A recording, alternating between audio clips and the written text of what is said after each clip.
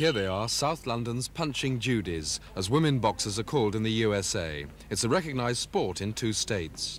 These English girls are taking up the pugilistic art to keep fit, not to fight. It's a better way of keep fit than aerobics.